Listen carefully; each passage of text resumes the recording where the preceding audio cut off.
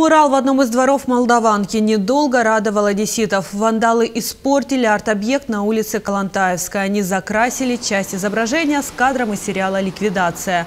В ноябре одесский художник нарисовал на воротах двух героев знаменитой ленты – Давида Гоцмана и карманного вора Фиму, роли которых исполнили Владимир Машков и Сергей Маковецкий. Идея украсить ворота пришла в голову местным жителям. Так они хотели привлечь внимание туристов. Ведь именно здесь снимались некоторые сцены сериала. В специальный ящик они бросали деньги, которые отправляли гости, чтобы отдать их художнику. Но кому-то рисунок пришелся не по вкусу. Возможно, виной всему политика. Имена некоторых актеров из сериала после 2014 года в Украине нежелательны.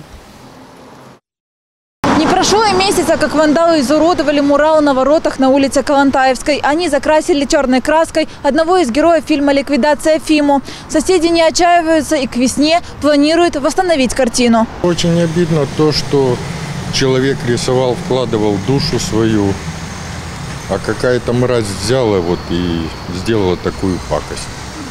Сделала не кому-то лично, а всем. Фильм есть фильм, это история фактически.